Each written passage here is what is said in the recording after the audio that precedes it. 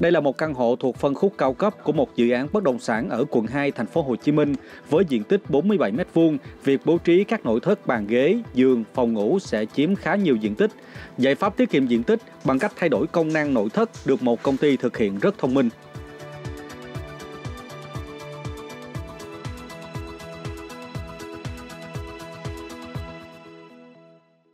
Cùng một diện tích đó chúng ta sẽ có những cái à, nội thất khác nhau công năng khác nhau thì diện tích căn nhà chúng ta sẽ à, tối ưu hóa diện tích hơn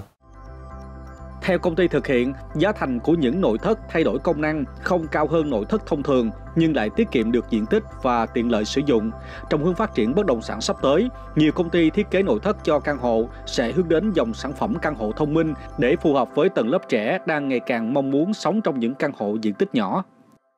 Chúng tôi à, sẽ bước sang một bước phát triển mới là chúng ta sẽ sử dụng công nghệ tự động và chúng ta có thể chuyển động từ dàn này sang dàn khác hoàn toàn tự động và thông qua một nút bấm hoặc là chúng ta thông qua ờ, smartphone, chúng ta có thể điều khiển được nội thất, chuyển đổi công năng của nó.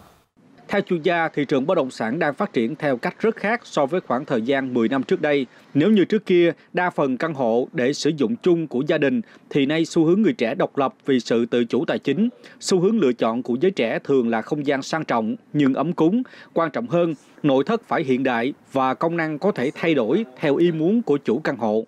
Ờ, nếu như mà các chủ đầu tư mà đưa ra những cái kế hoạch thế này thì rõ ràng là nó phù rất phù hợp với với, với những cái giới trẻ hiện nay đặc biệt là họ ngày càng tham gia và hội nhập với lại các cái bạn trẻ trên thế giới cũng như là cái túi tiền của họ cũng sẽ nó tương đối là phù hợp hơn so với lại cái cái sự chuẩn bị cũng như là cái cuộc sống của những giới trẻ cách đây 5 năm 10 năm. Và khi mà họ có xu hướng trẻ hơn thì bắt buộc cái người bán nhà họ sẽ phải um, thiết kế ra những cái căn hộ mà nó phù hợp với cái nhu cầu cũng như là cái cái cái sở thích của của người trẻ.